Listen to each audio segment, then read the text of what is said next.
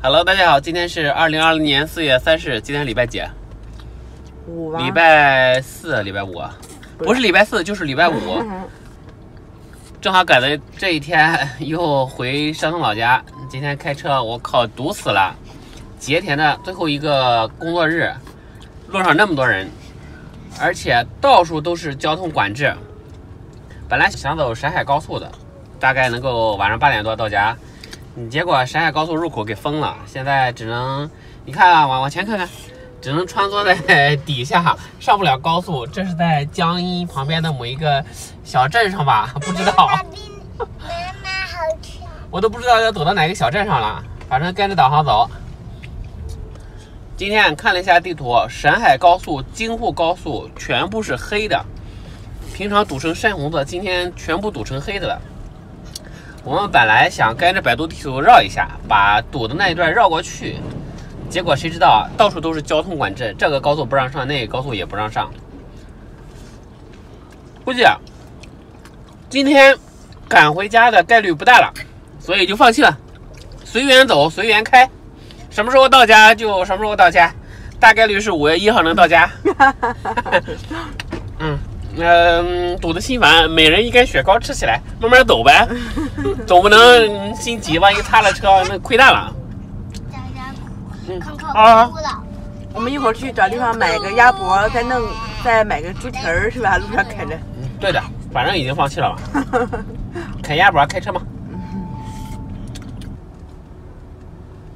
嗯，下午五点二十了，我们从十一点多从上海出发回山东，已经走了有五个多小时了吧？现在还在江阴呢，还没有过江阴大桥，堵到怀疑人生了。刚才那个人去溜达了一圈儿，能看见吗？应该可以。我我刚才从手机上看到的。这是准备上江阴大桥呢。嗯，堵成这样，估计一个小时也上不了桥啊。过了长江就好了，苏北那一段没有这么堵，苏南这一段堵成屎了，堵成翔了。我说话都没力气，堵得没脾气了。我就在想，我为什么会在这里啊？好好的五一我不在家里，我怎么会在这里呢？重点是你五一之前都到不了。现在显示是嗯五月一号凌晨，就是十二点十分能到山东。这是乐观的。天哪！我发现了五一和十一啊，不宜开车出门儿，都去坐高铁吧。坐高铁肯定比这个快多了。订不到票，高铁订不到票吗？订不到票，而且机票都是原价的。嗯，今年也奇怪哈，不，今年五一是因为以前五一就连休个三天，今年直接连了五天，然后大家都敞开了，然后连三十号都请假。嗯我们今天全天堵在路上，到现在还没开了有一百来公里吧，才还没有过长江。开了从六百三，现在开到五百二，开了一百一十公里，已经马上五个多小时、六个小时了。我们我们中间为了躲避沪武高速呀、什么沈海高速的一段堵，从国道上走了走了大概有九十多个红绿灯，好不容易绕了两大段儿特别堵的地方，然后这段是无论如何都绕不过去了，再绕就过不了江了。我觉得前面肯定是出车祸了，显示是没有车祸不可能堵成这样。大家都老老实实走，怎么可能堵成这样？这是上京沪的吧？上京沪的。这是上京沪啊，过江阴大桥，过长江呀。要不是过长江，谁走谁走这个路呀？大家都绕过去了。嗯，没有脾气。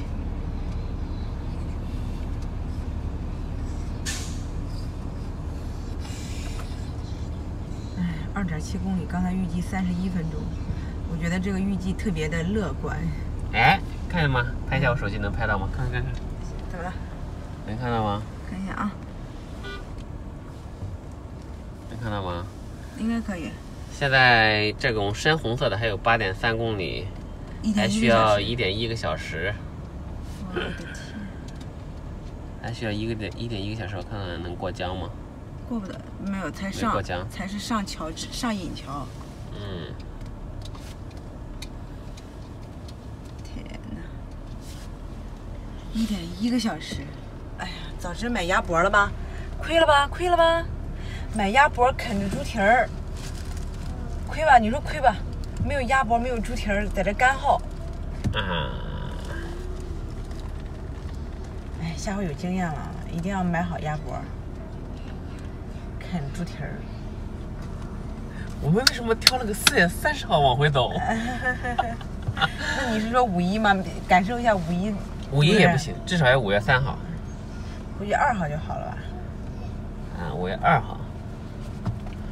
啊，算了，既然已经在这儿了，我们很多年都不出来凑热闹，难得今年凑个热闹就已经这个样子。说明什么？说明我们大家的生活都富裕了，家家都有车，都开车回去，结果就堵成这样了。说明中国经济好呀，大家随便请假呀，四月三十号就可以不上班呀。已经连休，已经连放五天假了，还可以继续请假呀。你在美国，你请请假看看，美国肯定也可以请假。可以请，那不会是像中国这样子的随便翘的。堵的还看不到头啊！看看对面畅通无阻，对面能开到一百二十码，我们这边连二码都没有，堵的不动弹。看个车子多脚啊！嗯，妈妈，现在显示明天凌晨十二点四十一到山东。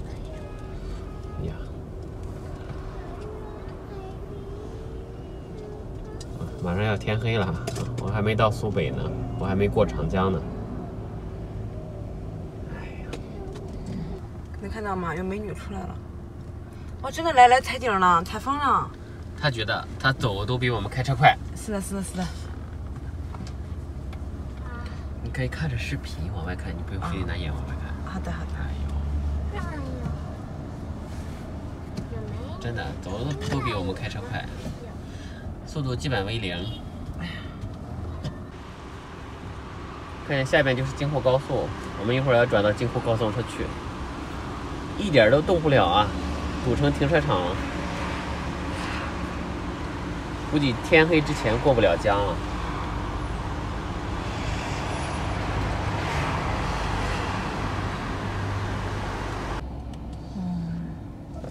看一下吧，京沪的停车场，一屁股红灯，就是走不动。我也拿这个手机给我用。我马上也要拐到京沪上去了。现在看天黑是指定过不了江了。明天一点之前能到家就不错了。